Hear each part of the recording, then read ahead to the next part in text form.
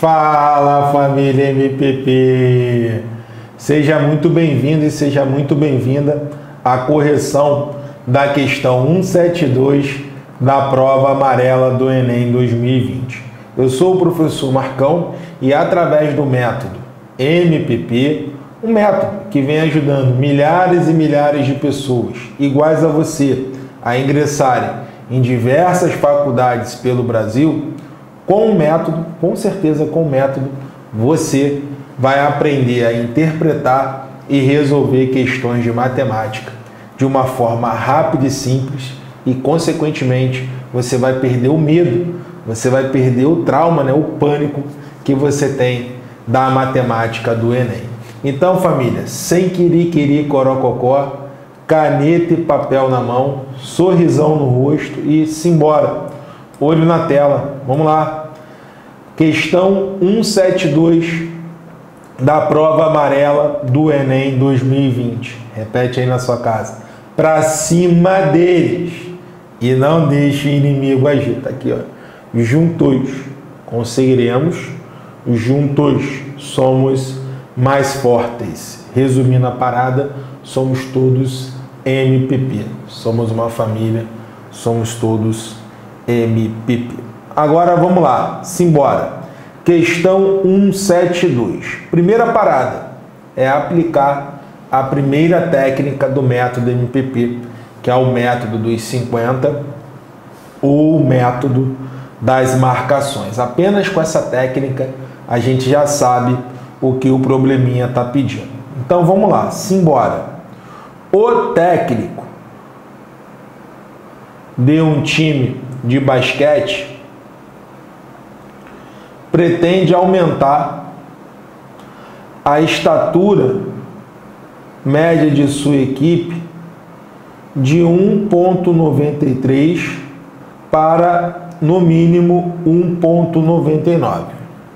Para tanto, dentre os 15 jogadores que fazem parte da sua equipe, irá substituir os quatro mais baixos de estatura 178, 182, 184 e 186. Para isso, o técnico contratou um novo jogador de 2.02 metros. Os outros três jogadores que ele ainda precisa contratar devem satisfazer a sua necessidade de aumentar a média das estaturas da equipe. Ele fixará a média das estaturas para os três jogadores que ainda precisa contratar dentro do critério inicialmente estabelecido. Legal. Vamos lá. Qual deverá ser a média mínima das estaturas em metro que ele deverá fixar para o grupo de três novos jogadores que ele ainda irá contratar? Vamos lá. O que, que o problema está pedindo? A gente já sabe que o assunto é média Sempre cai isso no Enem, né? Não é novidade. Agora, o que, que o probleminha está pedindo? Ele está querendo a média. Ele está querendo a média dos três novos jogadores que ele ainda vai contratar, né? que ele ainda irá contratar. Ele quer a média desses três novos jogadores. Resumindo, é isso que o probleminha está pedindo. Vamos lá, para chegar nessa média, a gente vai seguir aqui alguns passos, tá? Primeiro passo, tá? A gente vai criar duas situações aqui. Uma para o grupo antigo de jogadores e outra situação para o grupo novo né, de jogadores. Então temos duas situações aí. Grupo antigo, vamos lá. Qual é a média do grupo antigo, família? 1,93. Vamos lá. Como é que a gente calcula a média? Por média, soma dividido pela quantidade. Então vamos lá.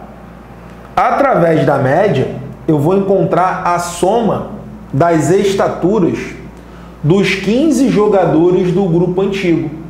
Então, como é que vai ficar aqui a minha equação? Média, que é 1,93, é igual a soma das estaturas dos 15 jogadores, vai ser a soma, dividido pela quantidade. Então, vai ser S15 dividido por 15.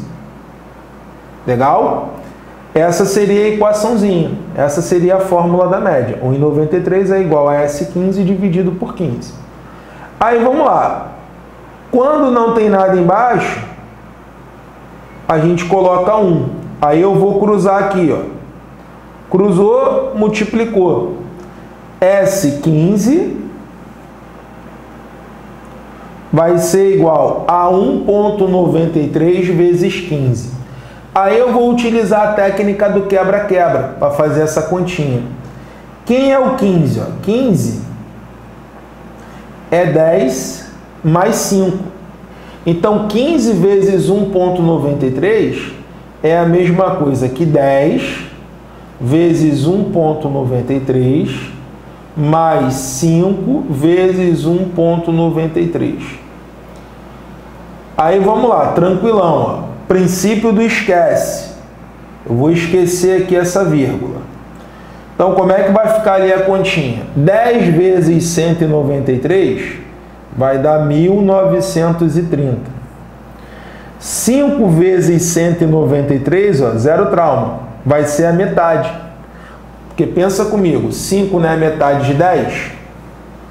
Então, vai ser a metade desse resultado. 1930 dividido por 2 vai dar 965. Acabou. Somando aqui esses dois valores, somando aí esses dois valores, isso daí vai dar 2.895. Mas lembrando, Princípio do esquece, a gente tirou a vírgula. Então, quando finalizar, você repõe. Ó, duas casas. Ó. Então, tem que repor aqui duas casas. Então, o resultado final dessa multiplicação, 1,93 vezes 15, não vai ficar apertado, tá? Você já sabe qual é o cálculo, né? 1,93 vezes 15 vai dar 28,95. Senão vai entrar aqui no novo e vai atrapalhar ali. Mas você sabe né, que esse 28,95 é 1,93 vezes 15. Até coloquei ali para você ver e depois eu apaguei. Beleza? Então a gente já sabe, resumindo a parada, a soma das 15 estaturas do grupo antigo. Agora vamos lá. Grupo novo grupo novo. O raciocínio é o mesmo, o que muda é o valor da média. Ó, o que muda aqui é o valor da média. Ó, a média agora do grupo novo é de 1,99. Então, 1,99 vai ser igual a S15 dividido por 15. Média é a soma dividido pela quantidade. Aí eu vou fazer o mesmo raciocínio. Quando não tem nada é um e vou cruzar. Não é isso? Para achar a soma, eu vou cruzar. Então, S15 vai ser igual a 1,99 vezes 15. Vou deixar até aqui a continha armada. Como é que a gente vai fazer essa continha aqui? Eu vou quebrar, método MPP.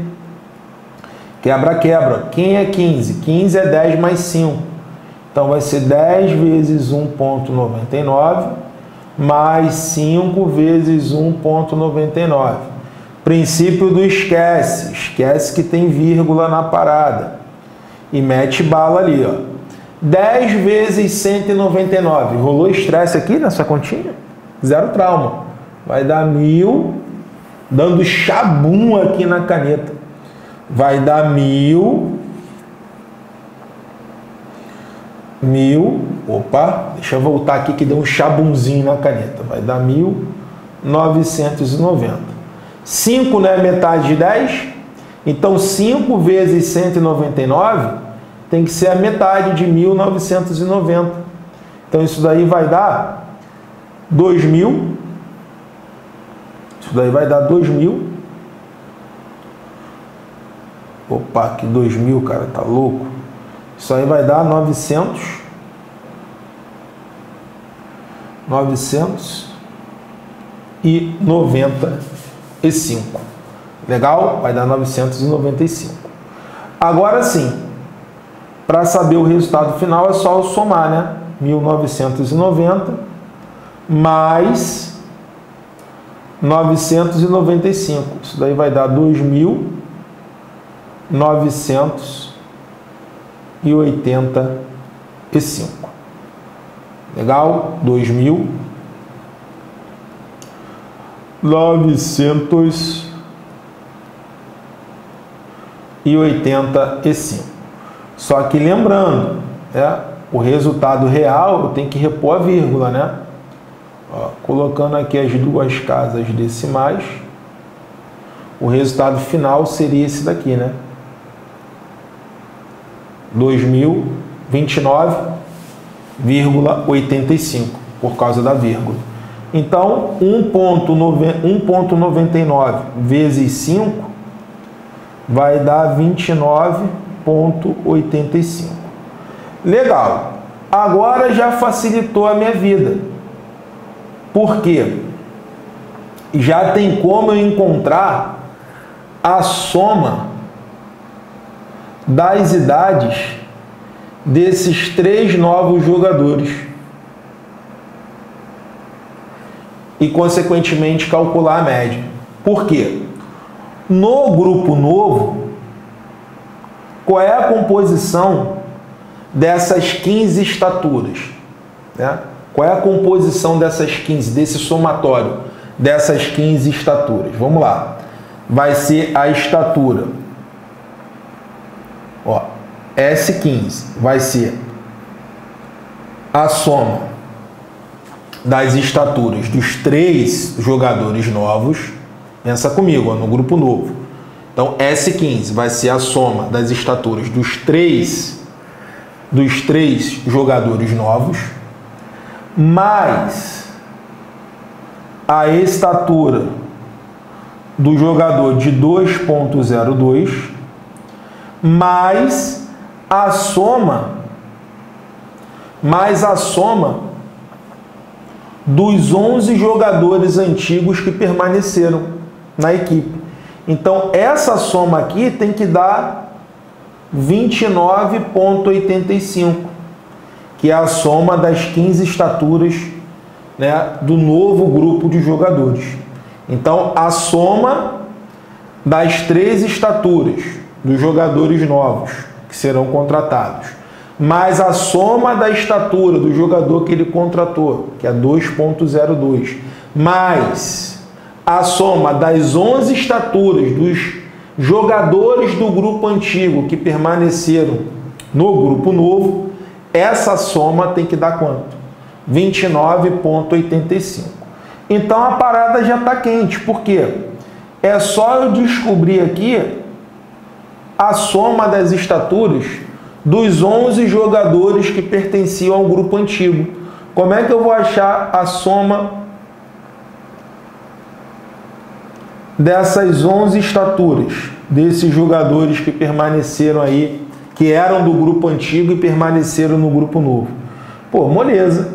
Eu vou pegar 28.95 e vou diminuir e vou diminuir dessas quatro estaturas que eu retirei do grupo.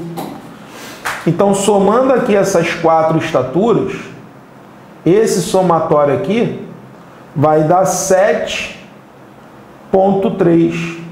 Então, S11 vai ser 28,95.